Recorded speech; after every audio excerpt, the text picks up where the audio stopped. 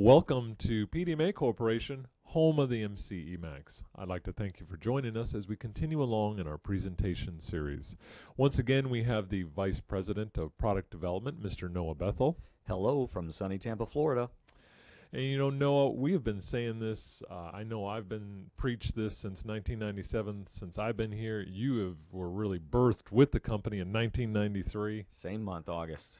August of 93 since we've been a company, a PDMA corporation, multi technology. It's better to have multiple uh, data points pointing to the problem. Yeah, making big decisions on, on, on big expensive motors, uh, you really want to be comfortable, increase your confidence. Multiple technologies makes that happen. And this is a great case study where it really highlights the ability to do uh, both vibration and motor current signature analysis. So here's the problem. Uh, they feel that there may be a flat spot on the sleeve bearings. You know, this happens a lot. Uh, we talked earlier about uh, the false Brinelling that occurs in storage, and, and, and it's something you want to be aware of and, and be cautious with. So they did some high resolution vibration data, and it revealed suspected rotor faults. So we followed up with MCA, and we're going to go through that data for you. Uh, before we get into it, it's a two-pole motor. We're always worried about two-pole motors, right, Noah? You know, they're the most difficult to analyze because of the close proximity to line frequency and speed. You know, they're they're just difficult. And this is a big two-pole motor, an 800 horse spinning that fast. A lot of things can go wrong. Right, and if that bar, if the bar flies out, there's a lot of force, and there's a lot a of centrifugal force. Absolutely. So here's the initial vibration data. This is a 3x order of harmonic. Yeah, Vibration 101 says to look for that pole pass frequency sideband around your, you know, running speed and, and, and orders of harmonics of running speed. This happens to be at the three times. And so this is this is at textbook 101. You can see the increase in amplitude historically at the top. It's it's it's worth taking very serious. And you could see it at 1x, 2x, 3x, or 4x. Correct. Now the next uh, sample data sample of data here is uh, we're showing uh, 0.72 hertz between the pole pass modulating. Right. This modulation is in a time domain more, and so it's basically when you think of a modulating, you know, vibration, that actually shows it here in the time domain. And, and our current will do the same thing, modulate current at a specific frequency. Okay.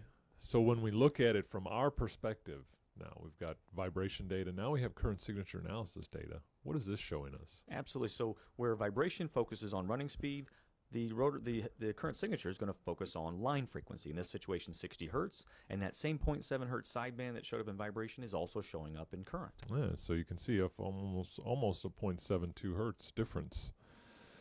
And we also we always tell people go out to that fifth harmonic is very important. And why is that? You know, our tech support likes to see three indications of rotor defect before they make a call, just to make sure you're not sending this large motor in for false repair. That fifth harmonic is is is an area where we like to focus, which is a, a confirming piece of information that that that that broke break in the in the bar itself is really affecting the air gap flux. So let's do the checks, right? We have vibration telling us at the 3x order of harmonic there's an issue. We have motor current signature analysis with pole pass sidebands around fundamental frequency showing that there's an issue. Now we have fifth harmonic, that's three. That's three.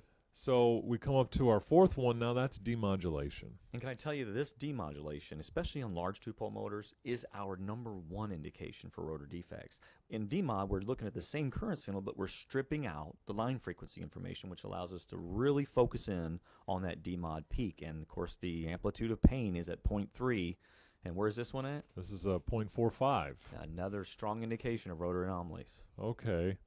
So we take it to the shop, right? They pull the motor, and the growler didn't show anything. Is that normal? You know, we've been hearing this a lot from our service industry partners that that depending on the uh, expansion and contraction of the rotor bars, when it when it's cooled down, like in this state, it's possible that that rotor appears healed, and that the growler may actually miss it. So it's never a guarantee but a good shop test that most most shops will do. But the analysts felt confident. They they knew that there was an issue, so they asked them to just you know wipe away, uh, scrape away some of the paint, uh, the insulation on those rotor bars, and this is what they came up with. So it's pretty evidence that there's a little hairline crack that went through uh, the rotor bar. And this is a great catch early on in the development of the fault, right? Rather than waiting till the bar's trying to fly out of the slot, they're catching it early enough and seeing it early enough. Now, when this thing's up and running, that separation that you're seeing around that crack may be a lot bigger than it appears now. When it's cooled off, it's contraction, uh, it's pulling itself together, it doesn't look that bad. Right. So, you know, we often ask for our uh, the financial side of things, right? Because that's how you justify your program. If you have a good reliability program, you're you're justifying either financially or increase uptime or mean time between failure. But in this case here, the real positive outcome was you started to convince people that the technology was valuable. You know, there's a lot of companies struggling with struggling with the uh, corporate culture for reliability. And if and in sometimes a win like this where you're able to confirm, hey, we saw it early, we stopped things from happening. We, you know, even if it's not a big financial immediate savings, just that win can make a huge difference in moving technology forward and being accepted by in, by the comp- company's leadership. Right. So it doesn't always have to be financial. Sometimes the small things really are valuable. Uh, so once again, we thank you for your time, Noah, and we thank you for you, the audience, your time in listening to us. And as always, if you have a different, if you have some information or a case study that you think would be valuable for us to share, please, by all means, send it to us. And until then, you guys stay safe out there and you have a great day.